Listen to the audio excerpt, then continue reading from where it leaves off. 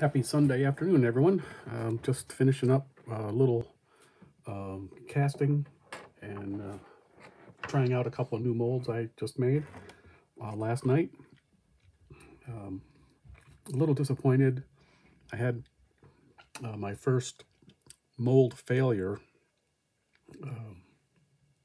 so I guess I can't complain. It's been, I probably made 60, 70 molds, and this is the first time I've had an issue.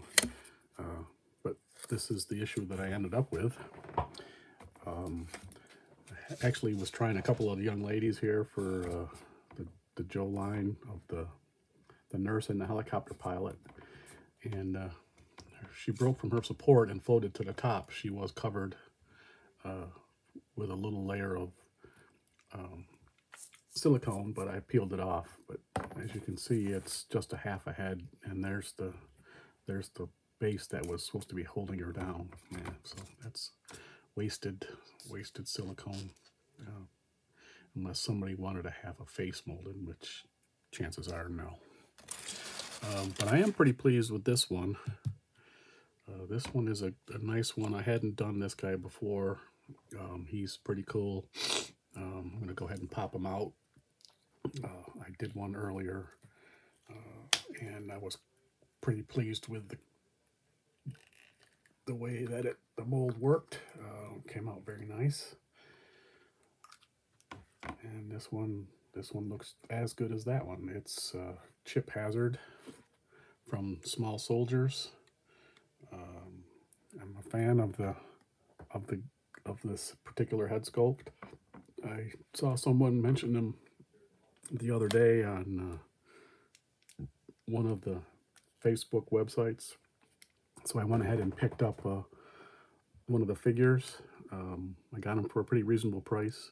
They're not super expensive, but they do have a unique design, uh, and I'm I'm pretty sure uh, I'm going to uh, do some kind of uh, muscle bound intruder or some other uh, space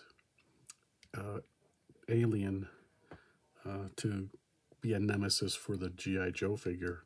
It's really, it really is actually a pretty nice figure. I, I'm not a fan of these particular legs with the with the lock knees that uh, that snap as as you move them.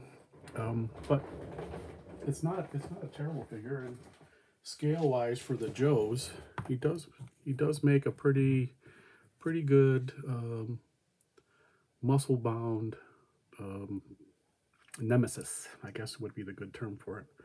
Uh, so I'm, I'm looking forward to doing a little something with him. Not sure exactly what I'm going to do with him, but um, yeah, he's going to be uh, he's going to be a cool dude, uh, some sort of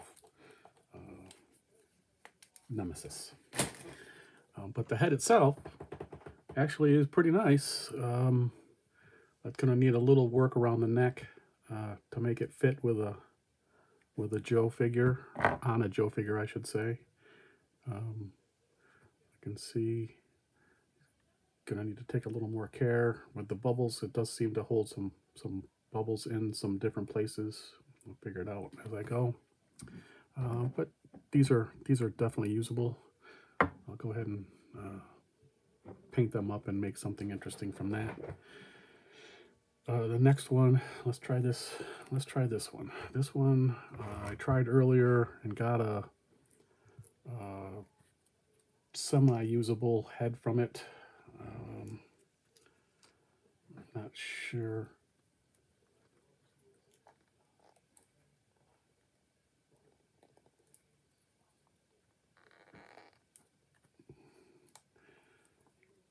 Not sure how it's going to come out. Still working on it.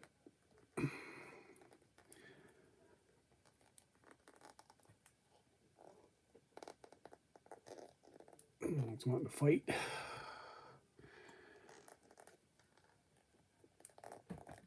Oh, I did a ton of work on the tractor yesterday and I'm a little tired today, so I'm not don't have the strength in my hands. I'm gonna put that one there. Neck post. I try to cast a neck post when I do the the heads so that they match when it's uh, time to mount them, the this tone of the color is the same. So let's let's try this one more time.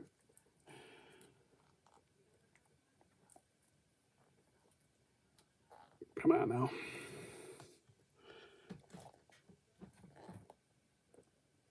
Oh. This is not good. Fight it. Fight the more. Eh, Push it out.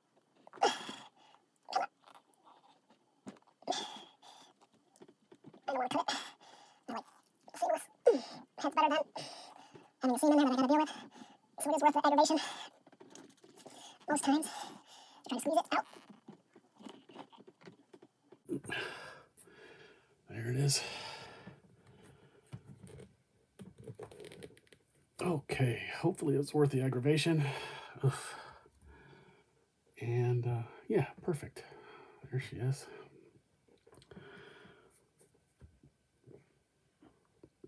So she'll paint up real nice. Uh, it's the first of the ladies. I'm not sure how many of those I'm going to actually make. Because, wow, did that fight me on the way out. Uh, but I do have a body uh, that I'm going to try to put this on. Um, and uh, I'll paint her. I'll paint her up uh, to match. I do like the head sculpt. And uh, this one, I'll go ahead and use up the last bit of my uh, my silicone uh, for this season uh, to make a new mold of that, just to get a good one out of it. And I'll make a few of that that one as well. Anyways, uh, that's the plan for the day, and a couple of couple of good ones, couple of iffy ones, and uh, one one failure.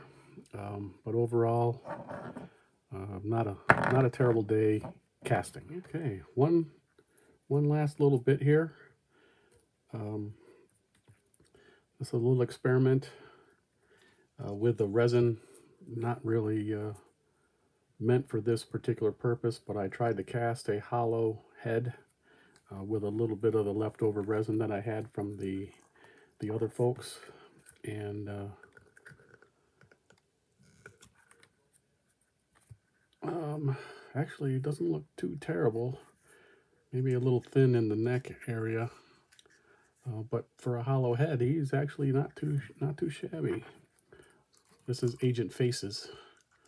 Um, I think I think maybe maybe I'll try another one just for the heck of it. When I cast this this one, I'll try another one uh, and see if I can get a good uh, get a good hollow cast.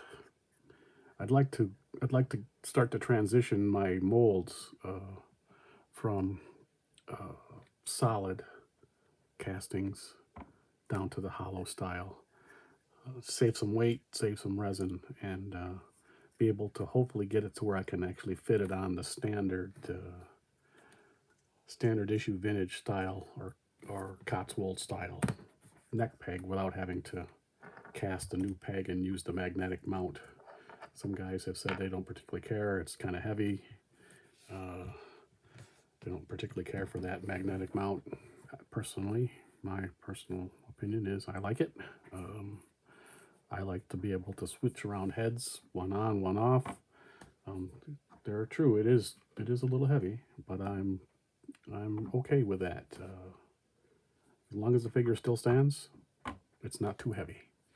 So anyways, there it is. A couple of interesting projects for the day, and uh, thanks for stopping by.